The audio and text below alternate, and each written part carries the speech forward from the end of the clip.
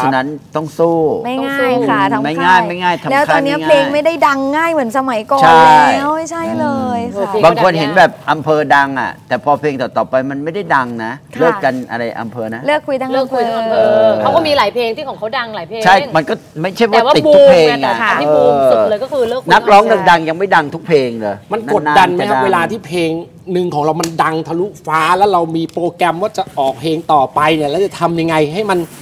ไปได้เท่าเทียมกับเพลงค่ะ ดังๆแชของมป์เรา ว่ามันเป็นได้เออแต่รักษายาก แรกๆกดดันมากค่ะ เพราะว่าจะโดนด่าว่าดังเพลงเดียว นักร้องดังเพลงเดียวอะไรเงี้ยมันแบบมาตลอดจนตอนเนี้ยเรารู้สึกว่า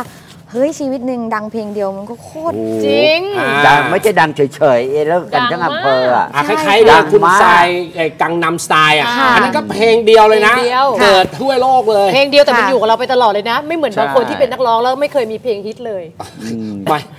ตรงนี้จ้ะ ใช่ เป๊กกี้เหรอ คุณเป๊กกี้ นักร้องเฟกกี้อะใช่ ตีลังกงลังกายแล้วก็ยังไม่ดัง ไม่มีเพลงฮิตครับ ไม่มีเพลงฮิตเลยใช่พยายามแล้วทำไปเรื่อยๆทำไปเรื่อย เพลงอะไรพวกนั้นไหนเพลงเธอชื่อเพลงอะไรบ้างนะ ไม่ไม่อยาก พูดไม่อยากพูดชื่อเพลงสักอันพอฉันเคยไม่คุ้นไม่เคยฟังหรอกไม่ฉันเคยคุ้นคุ้นยูหูทูบโทรมามานะตอนเนี้ยชื่อเพลงไม่ใช่ชื่อเอาเพลงตังค์นะให้เอาเอาถอดออก ชื่อเพลงอะไรชื่อไม่เพลมีงไม่ไม่ไม่มีไฉันเคยเห็นเธอแต่งฉันอยากรู้ชื่อเพลงอะไรปล่อยมันไปเถอะ